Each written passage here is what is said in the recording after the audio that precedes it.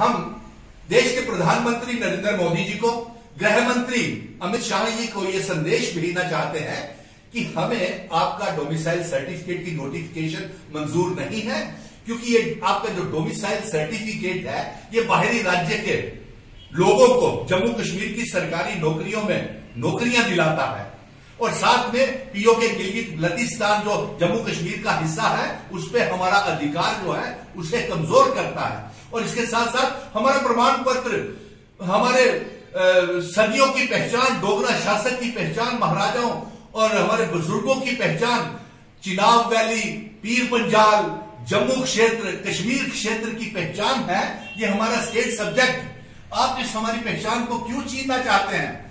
हमारा हमारी ये मांग है कि हम स्टेट सब्जेक्ट जो है ये हमारे लिए एक पवित्र डॉक्यूमेंट है और हम डोमिसाइल सर्टिफिकेट को नहीं मानते हैं क्योंकि ये हमारे जम्मू कश्मीर की एक करोड़ तीस लाख जनता का अधिकारों को छीनता है बाहरी राज्य के लोगों को जम्मू कश्मीर की सरकारी नौकरियों में नौकरियाँ देता है और हमारे बेरोजगारों का हक छीनता है।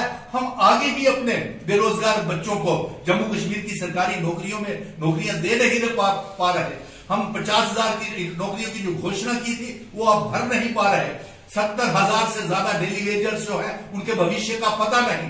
जी एंड के बैंक के मुलाजिम पीओस को आपने निकाल दिया कंट्रेक्चुअल लेक्चरर्स एनएचएम के कार्यकर्ता आंगनबाड़ी वर्कर्स को, और एस आर ओ दो सौ दो और एस आर ओ चौबीस के मुलाजिमों को आपने निकाल दिया। कठुआ, रजौरी, डोडा और कश्मीर के एस आर ओ चौबीस के बच्चों को आपने निकाल दिया एस आर ओ दो सौ दो के मुलाजिमों को आपने सरकारी गुलाम बना करके रख दिया। ये बेइंसाफी होगी। हम ये मांग करेंगे प्रधानमंत्री जी। देखिए, आपके जो लोकल लीडर हैं, ये आपकी छवि को जम्मू कश्मीर में खराब कर रहे हैं। अगर ये स्वागत करते हैं डोमिसाइल सर्टिफिकेट का बीजेपी के लोकल लीडर्स जो हैं